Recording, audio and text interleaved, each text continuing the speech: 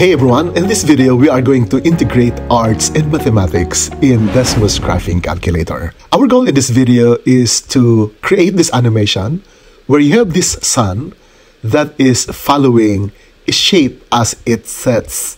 So we have here a parabolic shape. We are going to follow this shape as the sun is setting down while the waves are also moving. So how are we going to create this animation using mathematical function? So let's begin our animation problem. The first thing that we are going to do is we are going to draw the water. And the formula that we are going to use is this formula, y is less than or equal to the negative absolute value of sine of the quantity x minus t. We know that the sine function is a wave function. But since we want only the lower part of the wave, then we take the negative of the absolute value. And that way, we are always getting the lower part of the wave. Then we want to move this to the right. And the way to do that is we are going to vary the value of the t in this function because it will have an effect of a horizontal translation. So this is now the effect of increasing the value of t in this animation. Now we want several of these so that it will create an illusion of moving waves. And so we create another one, which is this, and we try to do it by slightly changing the coefficient of x. Because remember, if for example I make this 2 and I start at t equals 0, notice now that for the same period, there are two cycles when you multiply the x by 2 compared to when it's only multiplied by 1. But I think we do not need the two cycles compared to one cycle for the other one. We just need to vary it slightly so we make it 1.2.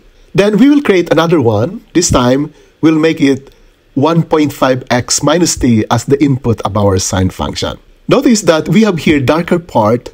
That is because when you have several intersections of these graphs, the darker would be the shading here. But those parts without intersection are the lighter blues. Now let's animate these three graphs of the sine function and you will now have these moving waves. Next is we want to draw our sun. So our sun is a circle and its equation is in the form the quantity x minus h squared plus the quantity y minus k squared. If you make this just equal, Notice that you only have a circle, but in order to shade it, we are going to make the inequality less than or equal to. And we now have this sun. Then we want to move this sun and let's trace the path that the sun is going to move. The equation is this parabola. Remember that when you have the equation negative x squared, you have this parabola. But we want the parabola to open up a little bit. So we are going to divide this by a certain constant, let's say 20, that opens up the parabola. But we are going to move this up so that these two will intersect, and that is about 4 points, so let's add 4, and that moves the path upwards. Then,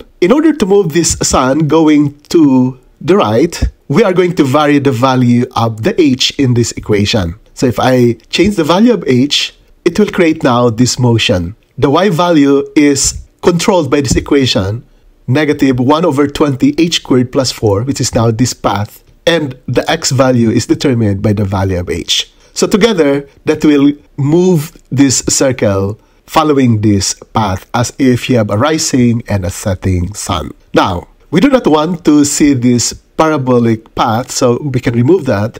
And we would like also to move the waves. So we are going to vary the value of t by automating its value.